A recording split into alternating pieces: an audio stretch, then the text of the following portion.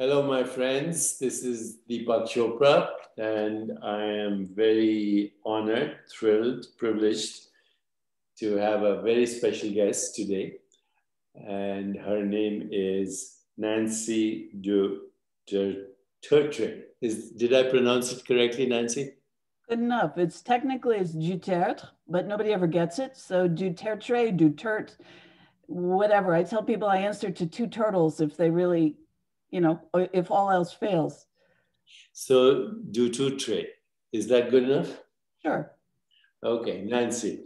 So you know, I I'm also a skeptical guy by nature, mm. and therefore when I uh, when I saw the subtitle, and uh, you know your name as the skeptical psychic and i was very intrigued so i started to read the book and i find it very interesting and i find your participation in that group of crazy people that we have uh, very interesting well.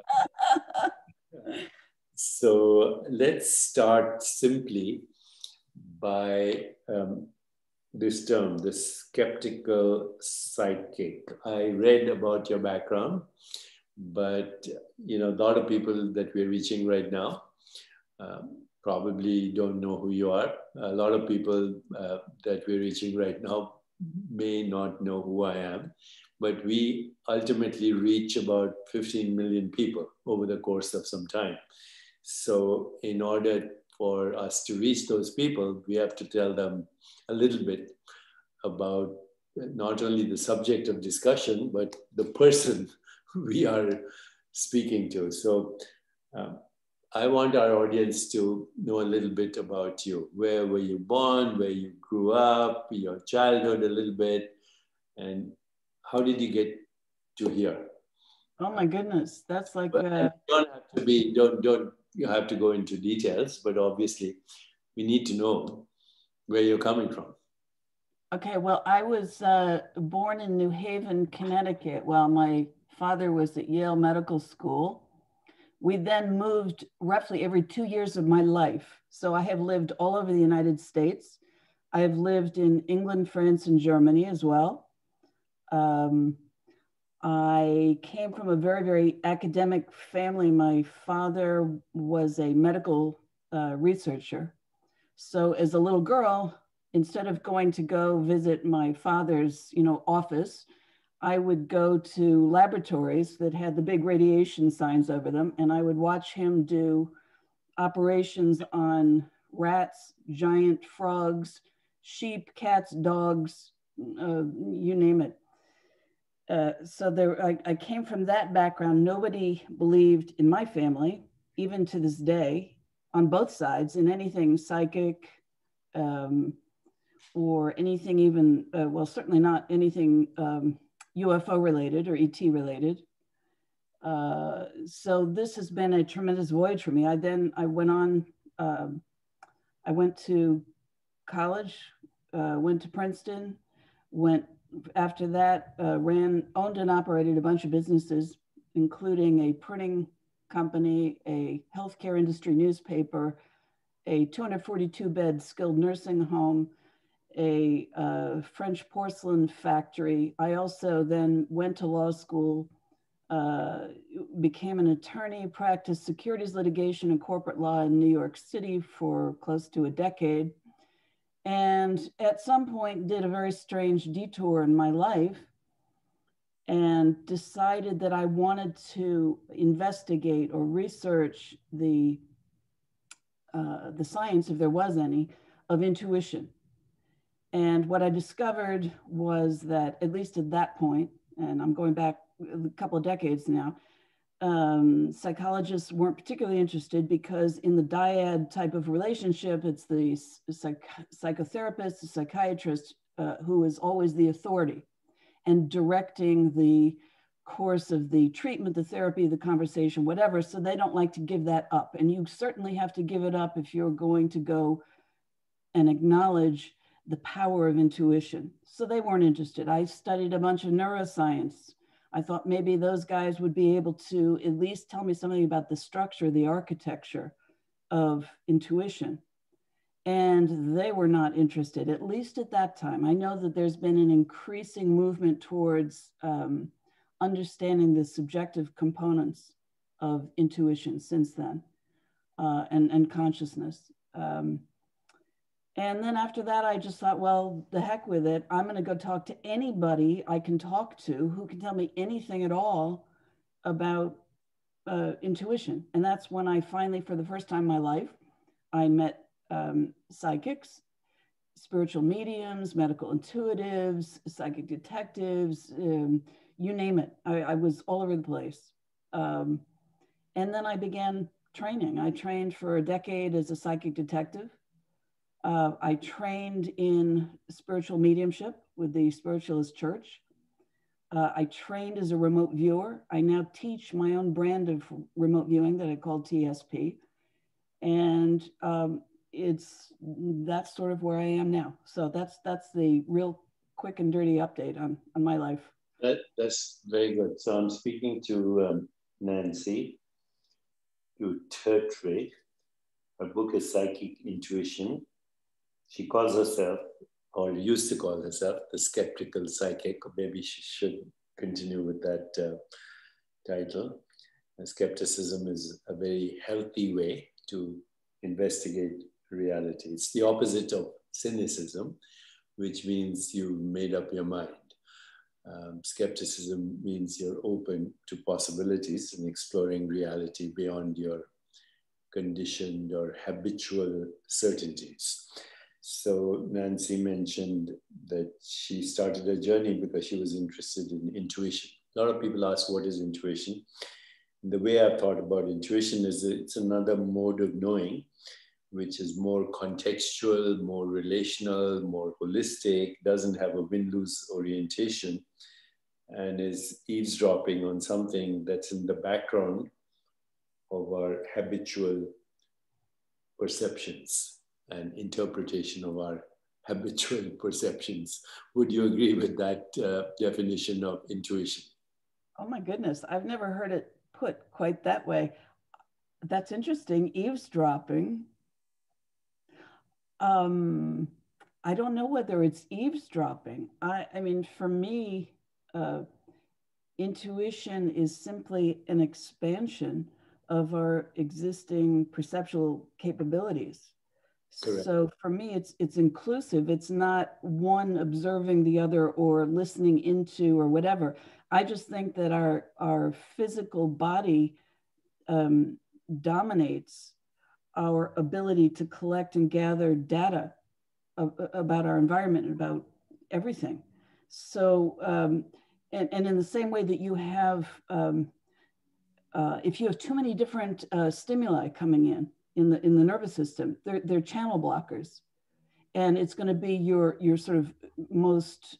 It's the loud. It's sort of the the squeaky wheel that gets the attention it's going to be your loudest uh, perceptual input that's going to grab your conscious awareness.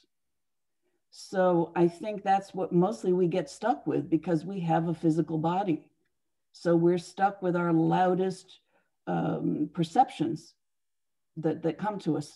I, totally agree with that. And your definitions are as good as they get. Uh, all I'm saying is that um, intuition is, in fact, what governs even our ordinary perception. We choose our ordinary perceptions based on context, meaning, relationships, past experiences, memories, anticipation, desires, imagination, intuition is all part of that background that is surfacing as the experience of the five perceptions through which we experience our body. There's no such thing as a body, it's just a modulation of perceptions, sensations, images, feelings, and thoughts that we call the body. I had a body that was once a fertilized egg, then a zygote, then an embryo, then a baby, then a toddler. So there's no such thing as a body. It's just a changing perception in the same way as intuition is, but this is looks very solid. So it's there it is, but it, it, it's still an illusion. But never mind, these are nuances.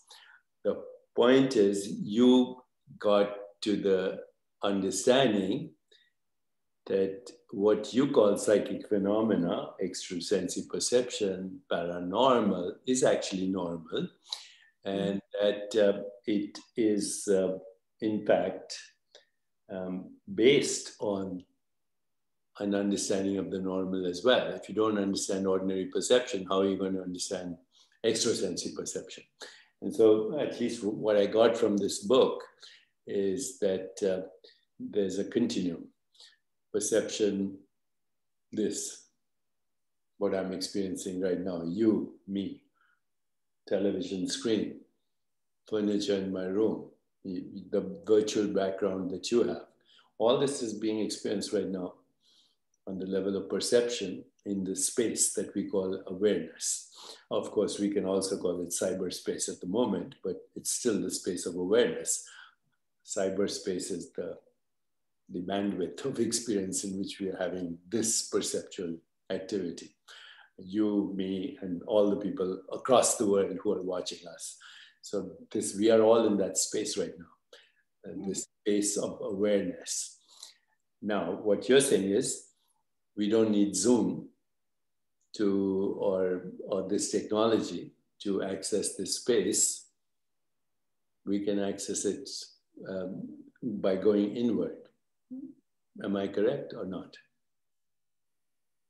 Yes, and I, I think that more, well, first of all, I don't know whether you can access it as directly with as much detail as you can on Zoom, for example okay? Because as anybody who's been in the field of, you know, clairvoyance or, or remote viewing or any of that kind of stuff, you, you know that there's no such thing as 100% accurate. Um, it, it's just the way it is. Um, what was I going to say here? you, you made a very good point. The more accurate, by the way, it is, the less reliable it is the more accurate it is, the more clear it is, the less reliable it is because it's ignoring the cloud of probabilities that it already exists in order to manifest as this. So in my tradition, the Eastern wisdom traditions, every experience has four levels. Para, which means totally unmanifest. Pashyanti, the cloud of probabilities Madhyama, the clarity of the internal dialogue, and Vaikhari, what I perceive. But what I perceive is a space-time event selected out of this whole infinite range of possibilities. So I'm totally on board with what you're saying.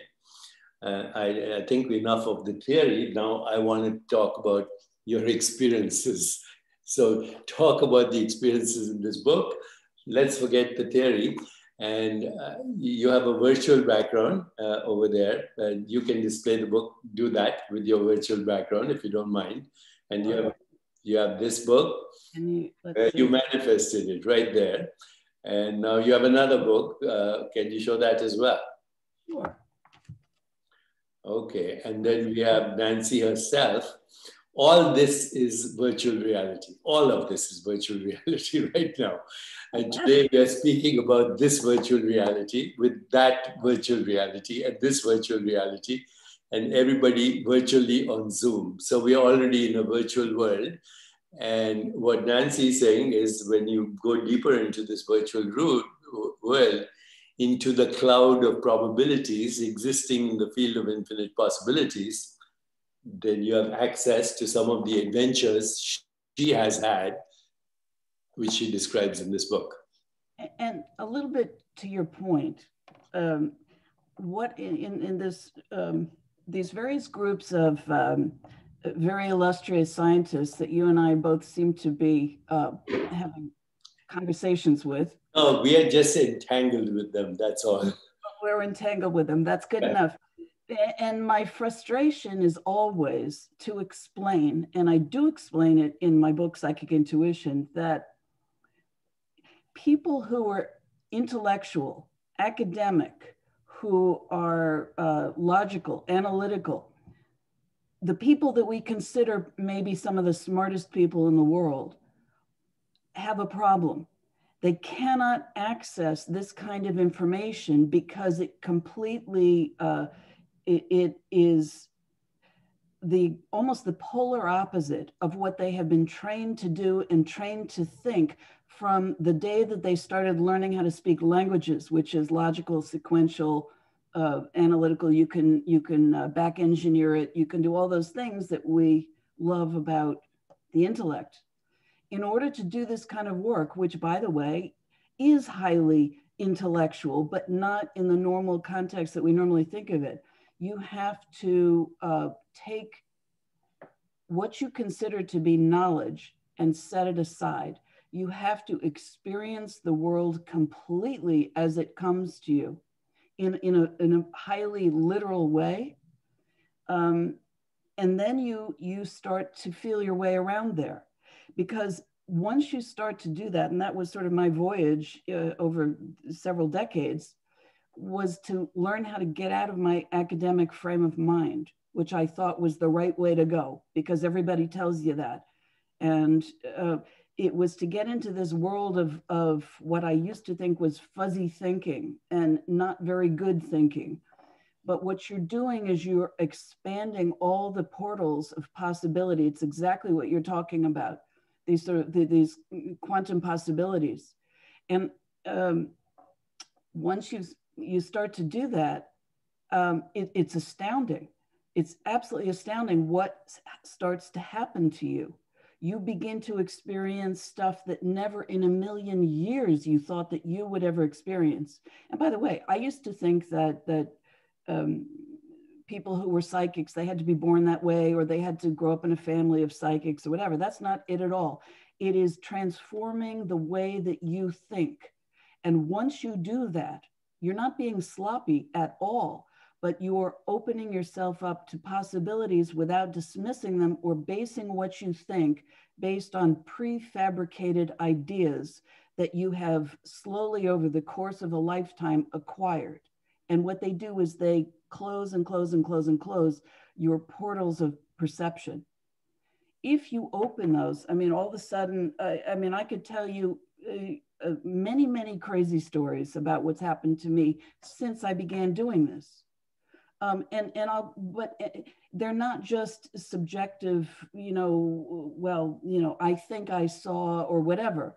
These are things that are either they're documented, they're witnessed by others, or they're physical realities. I'll give you maybe one of the, the sharpest examples. Um, I became interested in psychokinesis. I don't know whether that's something that you do. You practice that? I have, yes, but I'd like to know more about it, and it's the one of the most difficult things to practice. So please share your story. Um, well, I was. Um, By the way, right yeah. now we are practicing psychokinesis. I'm moving the molecules in your brain, uh, just as this conversation is happening. You're moving mine uh, in here, electrochemical activity is occurring. And everybody who's listening to us is also experiencing that. So we are all right now in a psychokinetic matrix at this moment, um, except it's very subtle. Uh, and our bodies are being regulated and regulating each other. I'm regulating yours and you're regulating mine. I'm monitoring yours and I'm you're monitoring mine and we're uh, at the same time influencing millions of people. So we are in part of a psychokinetic uh, um, matrix all the time. Anyway, we're altering the space-time geometry of the universe just by having this conversation. But that's a very deep level. But I, uh, your psychokinesis means I can um, influence the movement of this with my thoughts and actually, I can through technology already. Uh, with remote control, we do that, right? We uh, influence, I can open my garage door and shut off the uh, computer, open the television set. So we are practicing psychokinesis through a different kind of thinking. That kind of thinking that we call scientific thinking or we call it, but we are actually using mind right now to affect the mind of the matrix. Uh, so psychokinesis is happening all the time, but you're talking about something even more obvious, uh, and I'd love to hear your story. Well, it's interesting what you just said because, well, first of all, that acknowledges absolutely that we're all connected. And, and by that I mean living and non living, which maybe some people would disagree with, but I believe that. Um, and I believe that a form of psychokinesis is, um, you know, I, I do uh, medical intuitive and, uh, and energy healing work. And part of that, and, and people tell me very strange things. They will, I don't touch anybody ever. At, at most, I, I use my hands maybe five or six inches above the surface of their body. I never touch anybody. And I could do this remotely also, but um, uh, people have told me that they've gotten massive electrical shocks. They can feel tingling. Of course, they feel heat. They feel pins and needles. Some people have told me they can feel tendons moving. Uh, they're, they're major, and I don't, I'm not doing any type of suggestive talking or anything when I'm doing this. These are simply what they come up with. So medical intuitive work, energy healing is a form of psychokinesis. So uh, if you are doing that and literally you're not uh, physically contacting or implanting uh, conversation, you know, through physical speech, any types of ideas, that's a form of psychokinesis. There are many forms of it, many, many forms. I think the most dramatic form that I ever had, I was um, uh, just a few years ago, I was in a uh, remote viewing um, conference and they decided to throw what's known as a PK party, uh, psychokinesis party, which is fairly common. I never understood this among remote viewers. Of course, I do understand it now. Um, and so the um, is a, he's a computational physicist, Marty Rosenblatt, had taken uh, a big bag full of spoons and forks and things like that. You and poured them out on the coffee table. And he said, well, you know, and I also went to Home Depot and I bought these um, these steel rods. They're used in concrete reinforcement. And I have determined they are completely unbendable by any form of human strength. And because I had been bending all kinds of metal, you know, spoons and forks and all kinds of things for quite a while, I thought, well, let me try that because I know, I know for sure I cannot do that. So I took it and I, I held it gently. And uh, in 10 minutes, it melted it, and I bent the entire thing in half. And I, I think, like with most of this stuff, I was more astounded than anybody else. How can you bet? You can't get a more concrete example. I mean, yes, you can spin things. I mean, I do that too. You can move things. You can you can have these uh, other types of PK. But to me, it's it's literally it's what we all in, in society consider to be a superpower. It's not. We all have that power, and it is simply our ability, I think, to um, to rearrange molecules, which I think we can do. Um, and I think through certain powers of, it's a combination of attention and inattention but you you have to initially set your focus. That's sort of your your laser beam of finding whatever your target is. Um, and I think that we can do that.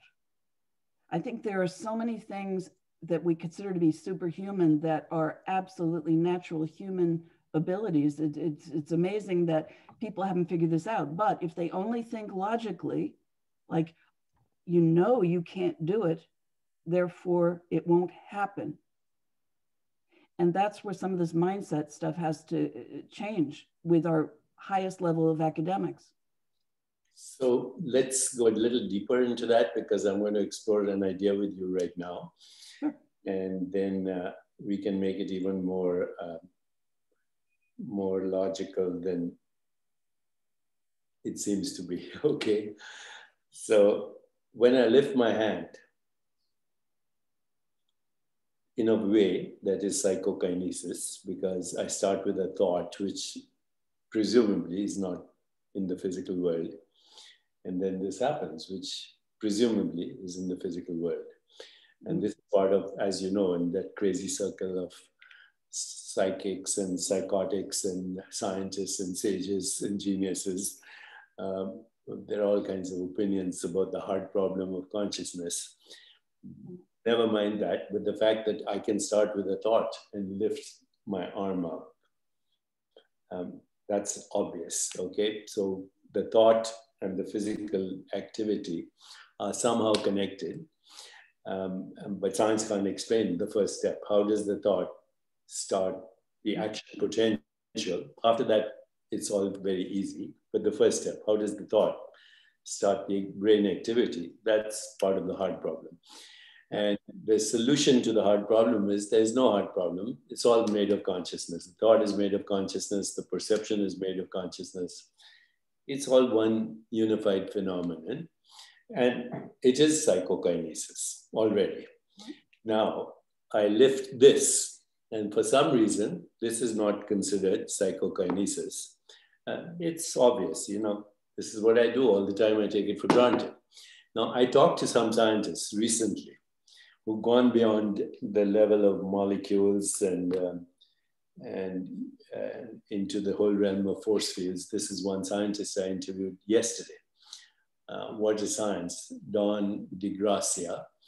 He's a professor of physiology at uh, university, medical school. But he's also interested in um, phenomena like you and I are talking about. Also interested in understanding fundamental reality. And what he said to me yesterday and I've talked to many other scientists about this. Nobody will argue with what I'm about to share with you right now. So when I touch this, I have no, I have no direct contact with this. When I touch this, I have no direct contact with this. Actually, electrons are, are bouncing off electrons. Force fields are bouncing. And even though I think I'm touching it, actually, no, I'm touching a force field a resistance field between two electrons. Mm. When I walk on the floor, I'm actually not, I'm levitating, I'm floating on the floor, even though the, the, the margin between the actual touch, which never happens, by the way, the actual touch never happens. There's only resistance between force fields. It's mass, spin, charge. That's what's happening. Okay, now I'm interpreting that as direct contact, but there's no direct contact. So when I lift this, that's pure psychic, pure psychokinesis, literally pure psychokinesis, because I'm using force fields, which are part of my consciousness field, to influence the force field here. So through technology, but also through regular locomotion and through regular interaction with what I call the physical world, it's all part of the psychokinesis anyway. It's all psychokinesis. Mm-hmm. However, what you're talking about is removing the filters, intellectual filters that say I actually touch anything. We never touch anything. You know, now, now I spoke about this at the level of touch, but you don't even touch photons. When you look at this, you don't actually, the bulk of the information is inside here all you're seeing is a reflection, which is very marginal. So everything we perceive, whether it's molecules or atoms or force fields or images or thoughts, it's all indirect. It's all, it's actually uh, inferential that I'm touching, but the touching is inferential. The reality is we are participants in the matrix of force fields, which scientists call force fields, but they're not force fields. They're human modes of knowing and conception to human experience that then we create these models, force fields, atoms, molecules, bosons, Higgs particles, human constructs to explain what is fundamentally an experience in consciousness, a cognition of a perceptual reality, which is unreliable anyway, because, you know, my perceptual reality is human. It's not what you mentioned in your other book, the aliens. It's not the same thing as the perceptual reality of a bat, which knows the world as the echo of ultrasound, or a chameleon whose eyeballs swivel on two different axes, or uh, a snake that navigates through infrared, or a butterfly that navigates through um, presumably um, ultraviolet it's all it's all made up. This whole physical world is a made up world based on a narrow band of human perceptual activity and a cognitive interpretation of it. And it's all, it's all our own projection. So we can choose our projections. And when we remove the filters of certainty that this is real, that's real, and my thought is not real, then we have access to this. So in, in the Indian tradition, by the way, one word for reality and a preferable word is existence. Anything that exists is part of existence, a thought, an image, a feeling, an intuition. You said fuzzy thinking. Actually, fuzzy thinking is creative thinking. Without fuzzy thinking, there's no creativity. You become an algorithm. you know, the only clear, clear thinking is algorithms. That's it, created by human beings. Yep. So, uh, so I totally. These experiences that you mention are very important. That you can bend a spoon, you can move objects, because we are already doing that at a subtle level. And what you're showing is we can do it at the level of ordinary perception.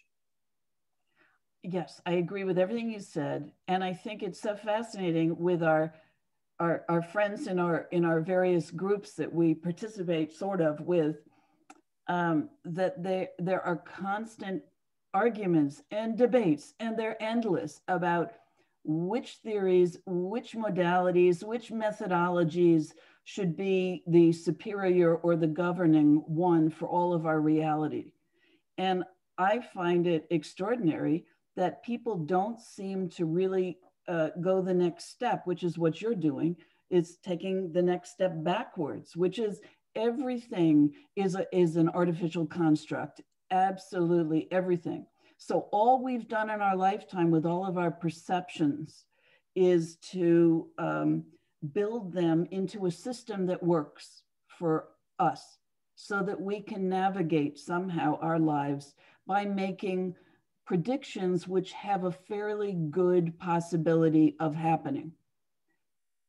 I mean, it's the way I look at it, it's, it's sort of a, it's a survival thing. I don't claim to know, you know, why we need to survive or if we need to survive in the physical body, whatever that is. Uh, but it's having these systems helps us to navigate and that's it. But they're not for real. I totally agree with you and you can manipulate them if you open your yourself up to the possibility that they are not the end all and the be all of everything that we know. And yes thoughts are things so also. um, because we could talk forever uh, let me just for our viewers sake get your opinion. Yes and no with a little bit of uh, little bit of commentary if you want but predominantly yes and no um, in the next part of our conversation. So, first question out of body experiences, are they real? Um, I have a real problem with that because people, I have always said, well, I've never had one. And then I tell people what I experience in terms of dreams or other types of experiences, and they say, yes, that is one. In fact, my mentor, Ingo Swann, who created remote viewing with Hal Puthoff and Russell Targ back in the early 70s, I asked him once about out of body. And I told him about a dream where I had flown through several walls and things in New York to go visit him. He said, Yes, that's an out of body. I don't claim to know what an out of body is, so I can't answer that. Okay, so now uh, my response to that is I can't claim to know what an in body experience is either. You know. I don't think anybody can explain an in-body experience because there's no one inside that body when you go looking for that person.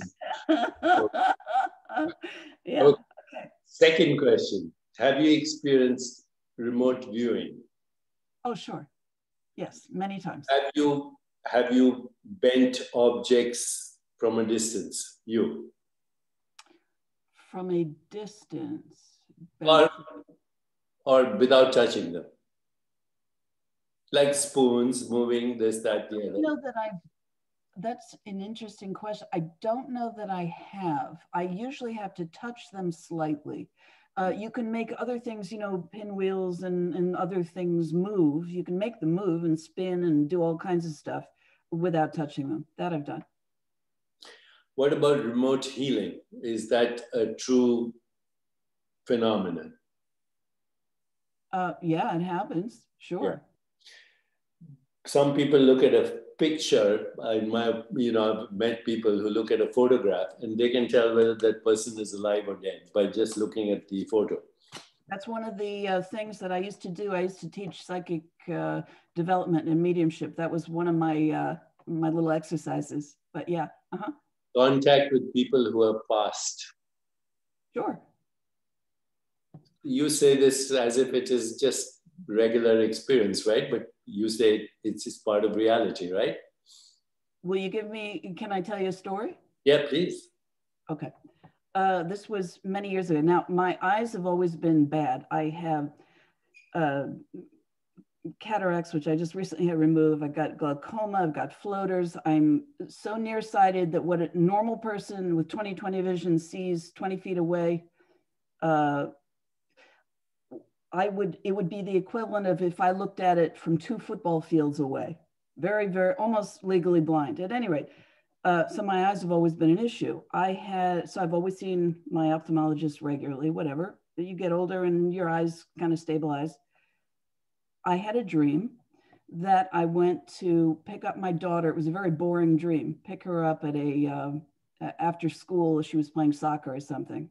So I go to pick her up at some neighboring school. I walk in, I get her, and all of a sudden, my Swedish grandfather opens the door. He's long since deceased. And I said, yeah, See him as if he's real. Oh, sure. He's in my dream. I, am a lucid dreamer also. Uh, I'm, and I remember most of my dreams. Are we in a lucid dream right now? Is this a lucid dream? Uh, well, that's a good question. Yes, I uh, because in many respects, I've the the older I've gotten, the my sense of where am I has become almost a 50-50 between my sleeping dreams and my waking life. So I'm not quite sure. So I would say probably yes. Yeah, because what happened five minutes ago or a second ago is already a dream, right? What happened to the moment that we call now? What happened to these words by the time you heard them? They're part of a dream. Exactly. Okay, go ahead. I did not. Uh... That's okay. So we used to call him Puff. My grandparents were Muff and Puff. And so I said, Puff, what are, what are you doing here? And he said, Well, I came to see you. And he had, had long since passed away. And I said, Oh, okay. And he said, Now there's something you need to know. And I said, What? And he takes this big tome, this big book, and he opens it up. It's about this thick. And he says, Read this. And I said, Puff, you know I can't read it. I'm in a dream. He said, Fine. And he shows me some uh, illustrations. They're medical illustrations of, and I knew immediately it was ophthalmology. And he said, You need to go see your ophthalmologist. And I said, Well, I don't think so, but thank you. We hugged and he, we said goodbye. And I woke up crying for joy, first and only time in my life. And I thought, well, since I'm exploring these sort of strange realms, uh, why don't I just, you know, I'll, I'll humor this idea. I know that I don't have any changes in my eyes. I got no problems with my eyes, nothing. And I went and I saw my ophthalmologist. And for the first time in my life, he said, you have glaucoma and for the rest of your life you have to come uh, every three months to get tested and you need drops. So my deceased grandfather puff has saved me from blindness. Amazing. Well that's a great story. So i've been speaking to nancy uh, du Tertre. Her book is psychic intuition everything you ever wanted to ask but were afraid to know uh, she's known as the skeptical psychic. Let me read the chapter headings. Chapter one, the impossible is real. Chapter two, don't ignore diamonds in the rough. Chapter three, faulty questions produce bad answers. Chapter four, the sliding scale of intuition includes psychic ability. Chapter five, we can see the invisible world.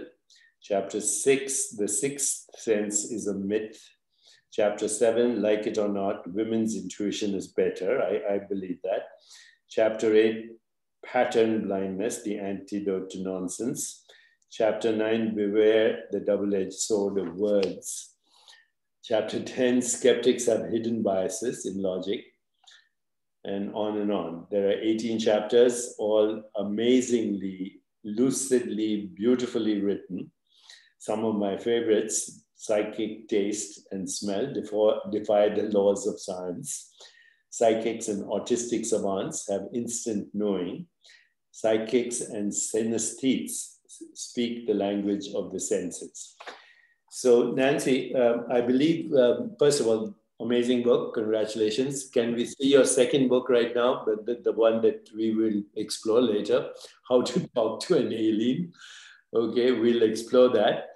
Um, but in the meanwhile, are you open, theoretically, to a series of conversations, either as a podcast or on social media or YouTube or wherever, on each of these chapters? That would make, uh, first of all, it would be great for your book. But secondly, I think a lot of people would learn a lot and so would I. If you are amenable to that, let me explore it. What do you think? Deepak, of course I'm amenable to that. Thank you.